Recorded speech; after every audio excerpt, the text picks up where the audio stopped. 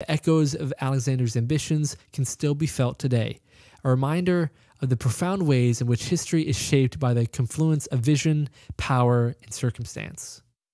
Dude, fantastic pod, man.